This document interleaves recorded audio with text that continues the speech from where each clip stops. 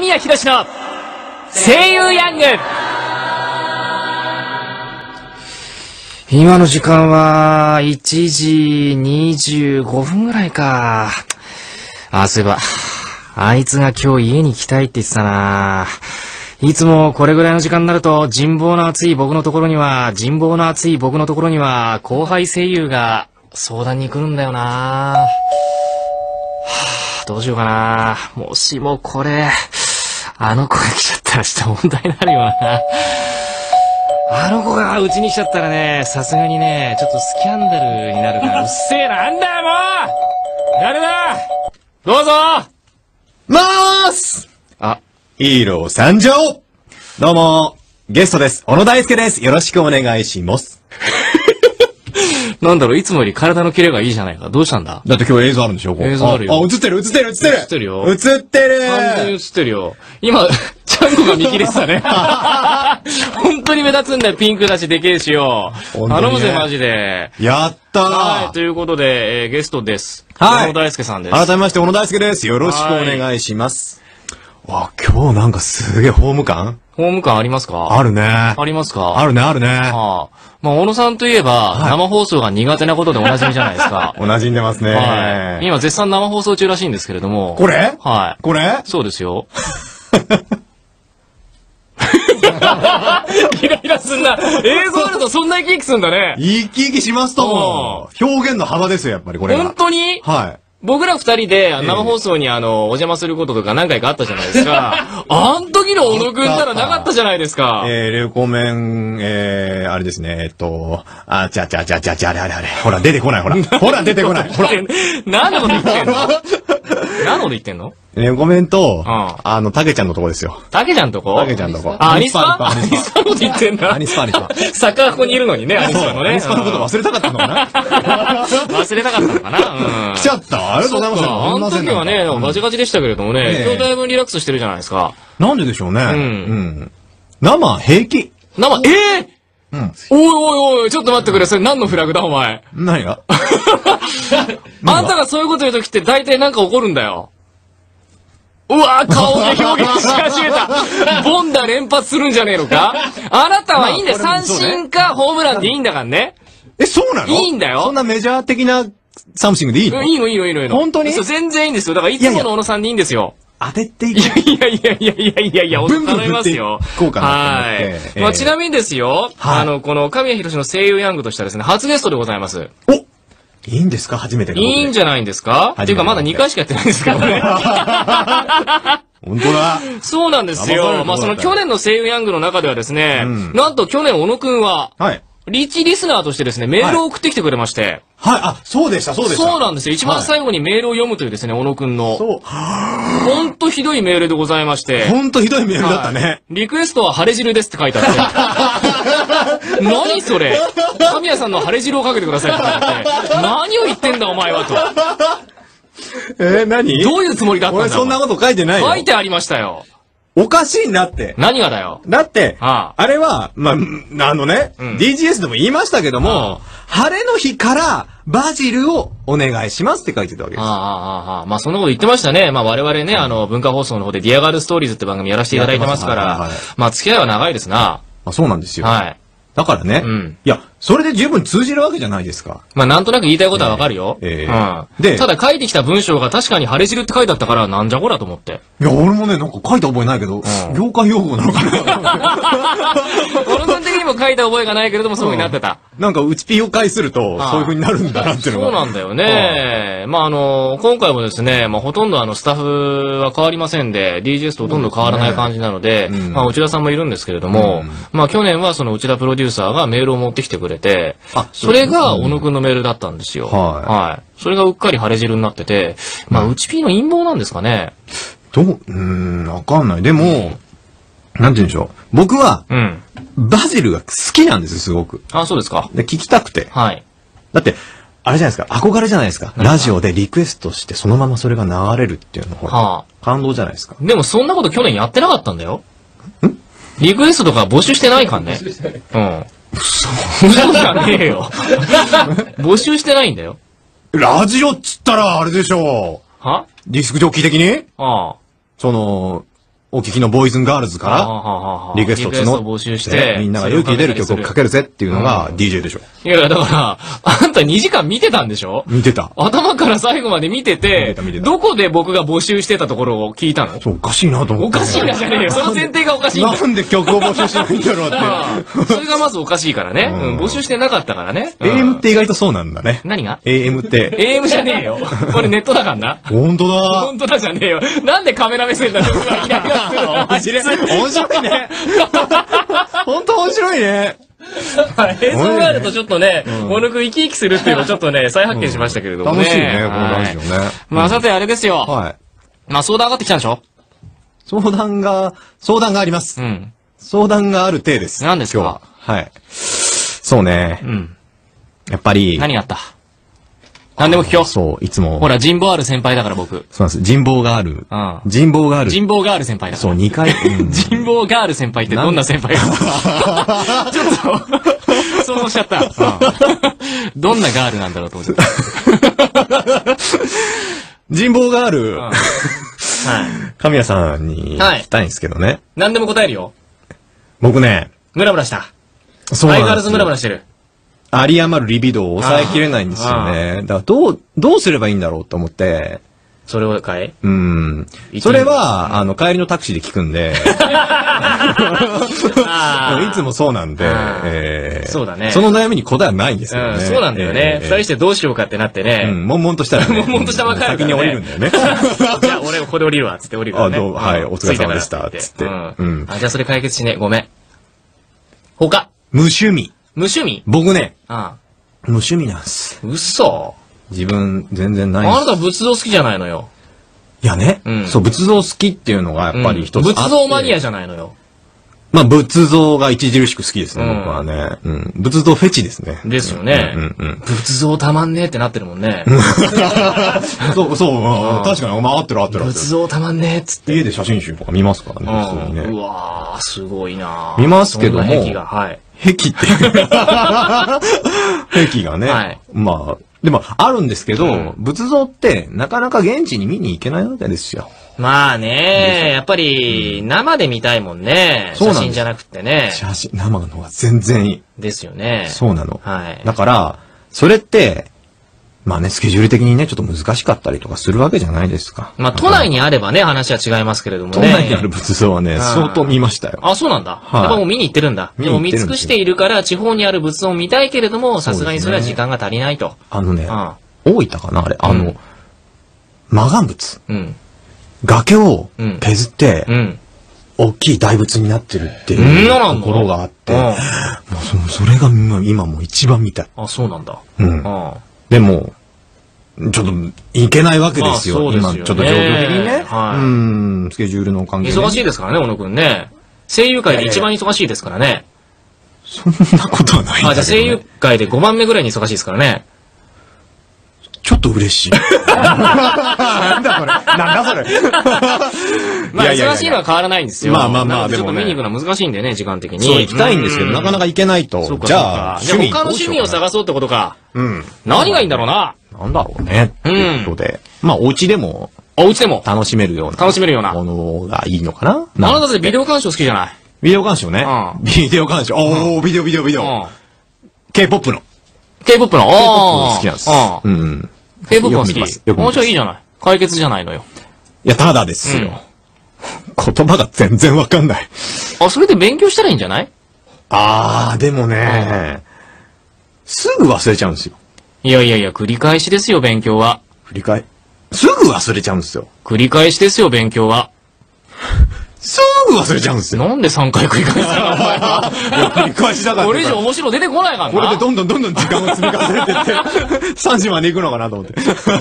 あ、そういうことじゃないんそういうことじゃないそういうことじゃないんまあでも、まあ趣味としてまあまあ、それもあるんですが、はい。新しく見つけたあでもなんかあれいです。ね、ちょっと、まあ、仏像も、やっぱりこう、美しいものは非常に美しいじゃないですか。美しで、K-POP の方々もね、とっても美しいじゃないですか。だからやっぱりこう、美しいものをめでるっていう方向性はいいんじゃないかなと思うんですよ。それは確かに好きです、すごくはい。うんうんなので、美しくないものをめでたらどうですか？お、逆転の発想。逆転の発想ですよ。うわ、超ハッピー。あそうか、そういうことあ。か。ああ。美しくないものって、なかなかないよね。ん？なかなか見ようとしてないからないよね。何が？どうやったら見れるんですか？美しくないもの？美しくない、美しくないものを。美しくないもの？んおお知らない、そんなもん考えてないもの。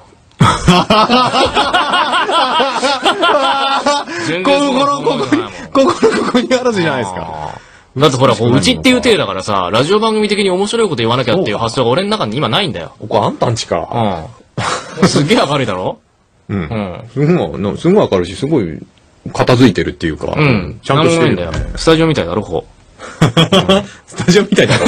死んでるんだぞ。タッチ好きだな。うんね、大好き。そうなんだよね。うん美しくないもの。本当にね、あなたね、坂口大輔の悪い影響を受けすぎだっていう話を、昨日たまたま坂口大輔に会ったんですよ。はあ、はいはいはで怒っときました。い。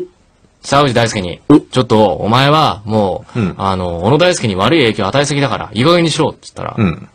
うん。ごめんごめんっつってて、全然反省した雰囲気じゃなかったよ。いつもそんな感じだよう。んで、今日生放送やるから、今日っていうか明日生放送やるから、うんお前来いよって言ったら、うん、うん、うん、うんって言ってて、適当な相槌を打たれまして、さっき、あ昼間にあ、ああ、仕事一緒で会ったんですあ、よ。本当に？会ったんですけど、あの、で、僕も言ったんですよ。うん。もう来ちゃえばいいじゃないですか。そうだよ大丈夫ですよ。ってうん言ったら、うん、うん、うん、うん、うん、うん。明日朝早いんだ。普通に断られましたね、そうだよ。爆発 B のアマゾンナイトをやりたいって言ってたよ。あいつは。タイトルも決まってんねん。ミッドナイトジャングルクルージング、爆発 B のアマゾンナイトああ、真っやりたい赤じゃねえの、あのっていうのをやりたいって言ってて。すぐ正彦って言うんだよ。そうそうそうそう。っていうのをやりたいっていうふうに奴に言われてどうしようかなと思ったんだけどね。誰がアマゾンで誰が正彦なんだわかんないよあと一人誰なんだよ。多分タイトルが面白いだけで内容は決まってないんだ。そうでしょんきっとそんなこと言ってたよ。で、奴からメールが来てさ、生放送頑張れよって書いてあって、その後に書面のところに、福山雅治3世って書いてあって。何なんだろう、あいつは。福山雅治3世を名乗っていると思って。俺だ よ、とっつぁんってなってるから。ちょっとなんかいろんなものが混ざっちゃってるんだよね。で、そういう変な影響をあんた受けすぎだよ。うん。確かにね。うん。それはね、僕も反省はしてます。でしょ？反省はしてますけども、うんしょうがないんです。一緒にいると。ああ。一緒にいるとしょうがないです。あのね、い、い、あの、いけないところ気づいたんですよ。あの、坂口大輔はなんだかんだ付き合い長いんで、うんあいつが言ってることの大半がわかるんですよ。おー元ネタがわかるしね。その共通の元ネタがあって、それに基づいてあの人ボケてるんで、ああ、なるほどはね。い。で、それについて、おいおいって突っ込むのはあれなんですけど、うん小野くんは、うんその、坂口大輔がボケているやつの模倣にし、じゃないですか。まあ、大体そうですね。そうですよね。ええということは元がないんですよ。ナイスナイスナイス。はい全然ナイスナイス。だからお前なんだそれって言ったら、いや別にってなるじゃん。別に別に。だって超ハッピーだもん。うわ、何その顔つき。そうなんですよ。その元がふにゃふにゃしてるから、はよりイライラしちゃって。おだから、狙い通りですねお前いい加減にしろよと。ううんん。ちょっと悪い影響与えすぎだぞと。知ってます。反省してくださいっていう話をしたんです、昨日。反省もしてます。え、あ、あ、小野くんも反省してますか？僕も反省はしてます。ああ、まず趣味見つける前に反省ですよ、小野さ反省？ん。反省ですよ。反省が趣味反省。趣味反省。趣味反省ってのはどうかと思いますけどもね。ええ今日良くなかったなって。ん今日良くなかったなって。うん反省はいつもしてんですよ。うんでも寝ると忘れるんですよ。忘れちゃうんだよね。すごいっすよね記憶しとけ。なんかノートに書いとけ。日記つけろ。趣味日記だ。うーわ、無理。これが、無理。無理なのブログをね、うん。ちょっとね、うん。ダバってやつでやってるんですけど、うん。あれすらね、書くことがない。一週間に一回書いてるんですけど、うんそれすらない。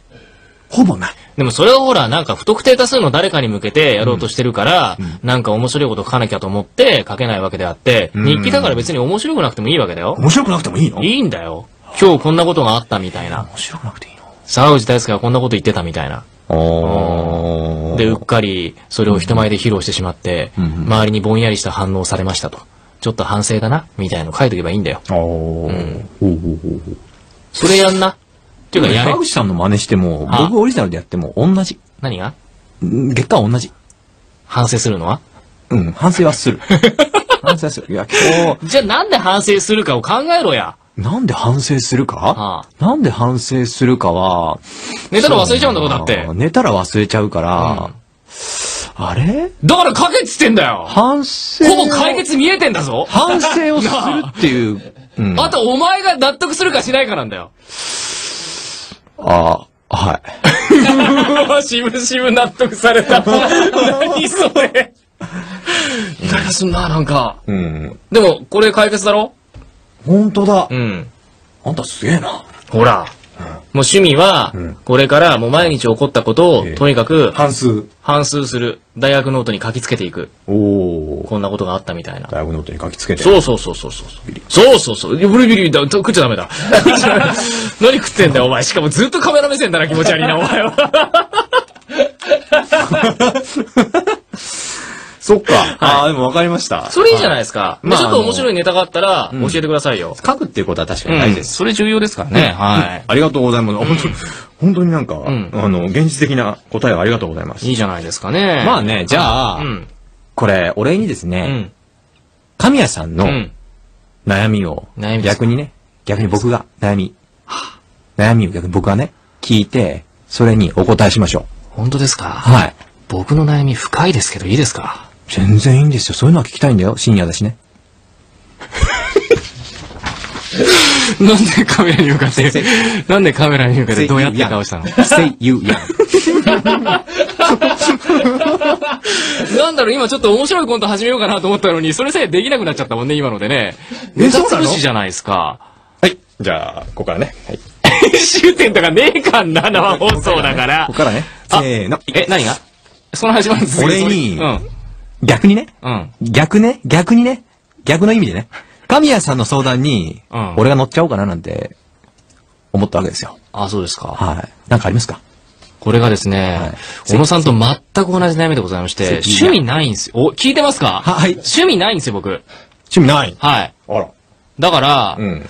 日記書こうか。え？ね 日記書くか。日記書くか。え、日記書いた方がいいですか？日記書こう。あああ。の交換日記する？ー、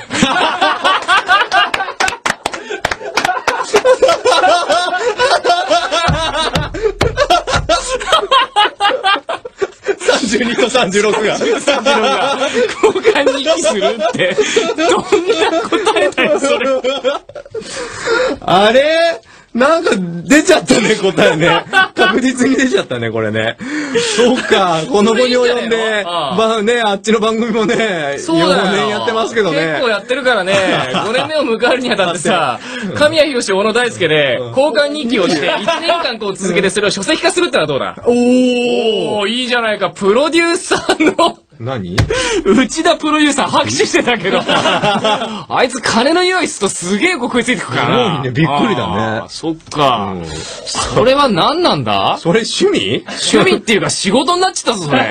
そうだよね。ああ。やっぱ、仕事になっちゃうね。なんだかんだでね。仕事好きなのね。た方がいいのか？どうだろう？楽しめない。楽しめねえよな。楽しめないようん。。あと、つまんないと思うぞ、それ。つまん、つまんないね。うん確かに。女性声優としたい。あ、それいいな女性声優とかね。それいいなうん。いい顔するね。うん。こういう時でもそういうのは、なんだろうなみんなに言うものじゃないからなあ、日記じゃなくて、普通にメールのやり取りだけでもいいんだよな、俺。そう。まあ、メールだけじゃなくてもあった方がいいですよね。メール出してもなそうなんですよなかなか返事くんねえしなうん。みんな忙しいんだろうな他のお悩みはありますか？え、何が？あれ？もう1時43分じゃね？うわ、やっべ。小野くん、あ、まあいいや、小野くんいるからちょうどいいや。いつもだとさ、この時間ほら、DCS のイベントの自主練する時間じゃん。おー、うん43分。ん半端だな、おい。でしょ？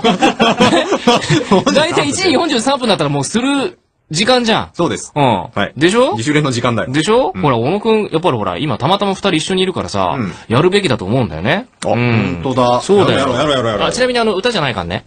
え？歌じゃないんだ。うんあ、歌のリハ、あ、やったもんね。うん。この間ね。あの、かっこいいポーズの練習だから。うん大事。大事大事。そうでしょ？うんなんで、やろうちょっと一曲流すからさ、うん一緒にやんない？いいっすよ。本当に？マジで？全然いいっすああ。でもこれなみんなには見せらんねえよなだってほら、ほら、ライブまでの秘密だから。そっか。出し惜しみしちゃいますか。まあ、ちょっといろいろ考えようぜ。ということで、ここで聞いてください。神谷博士、小野大輔で。パーティーフライト